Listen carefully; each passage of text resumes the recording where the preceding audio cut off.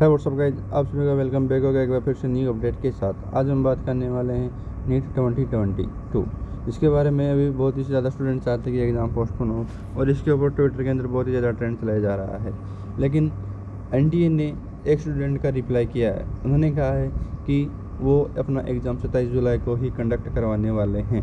फिर भी अगर यदि कुछ चेंज होता है तो वो ओनली फॉर एन की ऑफिशियल वेबसाइट पर जाके चेक करें और उसी पर ही विश्वास करें। सोशल मीडिया पर फैलाए जा रहे किसी भी प्रकार के भ्रम पर विश्वास ना करें।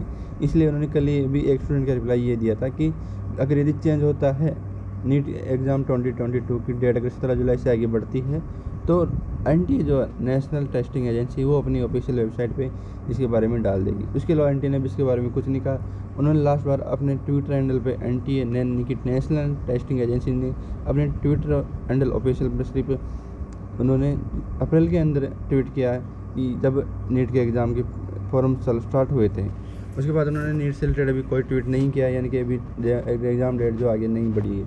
लेकिन अभी बहुत कम चांस है कि एग्ज़ाम डेट आगे बढ़ेगा। इसलिए जो भी student NEET twenty twenty two की प्रिपरेशन कर रहे हैं, वो अपनी प्रिपरेशन को सत्रह जुलाई मानकर ही करें। क्योंकि अगर यदि आगे नहीं बढ़ेगा तो आपको सत्रह जुलाई को एग्ज़ाम देना ही है। अगर यदि आपको हमारी जानकारी अच्छी लगी हो तो लाइक करें कमेंट करें शेयर करें सब्सक्राइब करें। जय हिंद, जय भारत।